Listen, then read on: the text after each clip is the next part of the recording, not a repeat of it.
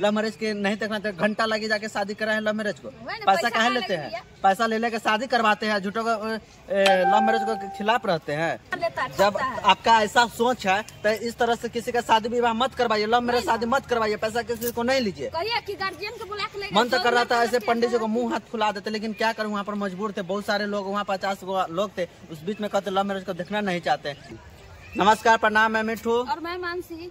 दोस्तों अभी आप देख रहे हैं हम यहाँ पर आए हैं जहाँ पर हमारा शादी हुआ था पुनौरा धाम सीतामढ़ी के पुनौरा धाम पे है जो कि पीछे देख सकते हैं पुनौरा धाम का पूरा मंदिर है और और यही सीता कुंड है जहाँ सीता माता का जन्मभूमि है यह स्थान है यही जगह है यही सीता कुंड है जो कि यहाँ पर सीता जी नहाते थे और बहुत सारे लोग अभी आते हैं तो यहाँ पर नहाते हैं। और दोस्तों हमारा शादी इसी मंदिर में हुआ था लेकिन यहाँ का पंडित जी बहुत ही बेकार है। पूछिए क्या है? बताते हैं। जिस समय हम दोनों का शादी करा था उस समय हमसे पाँच सौ रुपया लिए थे। पाँच सौ रुपया हँसी खुशी से भी दे दिए थे। बोले चलिए भैया शादी आप करा दीजिएगा पंडित जी तो कोई दिक्कत नहीं दे देते पैसा। और वो पैसा पाँच सौ रुपया दिए थे। आज वही पंडित जी पैसा के तलाश में इधर उधर भटक रहे थे चारों साइड कोई बंदा पकड़ा जाएगा तो शादी ब्याह कराएँगे तो हमको पैसा मिल जाएगा पर्ची काटने के लिए। आज वही हम लोग को देखे हैं शूट कर रहे थे वीडियो। तो भाई भाई, हट हट हम ऐसे ऐसा प्यार मोहब्बत से ब्याह करता है उसको हम मतलब देखना हैं। पसंद नहीं करते देखते नहीं हाँ, है बताइए यही वो मंदिर है सामने जो दिख रहा है पुनौरा धाम का सीता माता का मंदिर है। इसी में हमारा शादी हुआ था और वही पंडित जी जो पाँच सौ रुपया लेकर शादी कराया था आज वही पंडित जी हम लोग को देखना पसंद नहीं करते कर दिया हैं तो उतना आदमी के बीच में कह रहा था पंड कि लव मेरे शादी करता साफा बेकार होता था बताइए था आप लोग वो पंडित जी पैसा काहे लिए?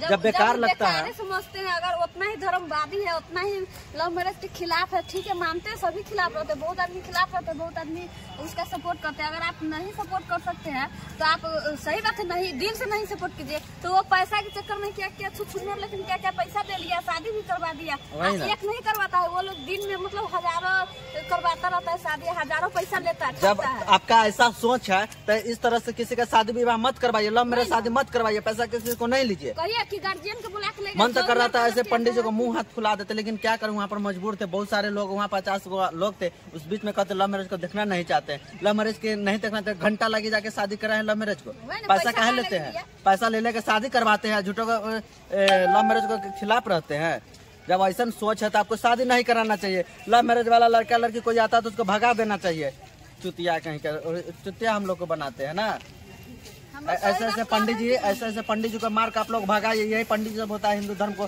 बर्बाद करके रख देता है। पंडित जी सबको बाबा सबको शिकायत करवाते हैं। ऐसे ऐसे लोग पैसा के पैसा के पर हर चीज़ पैसा के लिए हर चीज़ करने के लिए रेडी रहते हैं। ऐसे ऐसे पंडित जी हमको लगता है पैसा के लिए बाथरूम साफ़ करवाइएगा जो भी कुछ करवाइएगा सब कुछ करने लगेंगे ठीक है?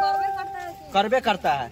पैसा ज़रूरी था तो उस दिन शादी कराने में ले लिया। आज देखने के बाद कहता है कि हम लव मैरिज को सपोर्ट नहीं करते। ऐसा को हम देखना पसंद नहीं करते। चलो चलो यहाँ अपना बहन बेटी भागेगी शादी करेगी तब क्या बुझाएगा है? तो चलिए आप लोग कैसा करे? वही वो मंदिर है, पीछे तो देखिए रहे सीता माता का। रोज का इसमें पचास लाख पचास हज़ार लाख लाख का रोज का कमाई है। फिर भी यहाँ का व्यवस्था देखिए कैसा है। मतलब पता ना, सरकार देते हैं तो अलग पैसा देते हैं। यहाँ पर आदमी लोग आते हैं तो कुछ कुछ चढ़ावन में चढ़ाते हैं, पैसा वो अलग रहता है। फिर भी यहाँ के व्यवस्था देखिए मतलब चारों साथ से जो घेरापन है, कम से कम उसको सजाया जाता है। और पैसा पंडित जी ले, पता ना कौन ले जाता है? कौन पैसा ले जाता? कम से कम इसको अच्छा से घेर देता पेंट प्लास्टर करता। है देखने में अच्छा लगता है सीता माता का कुंड है।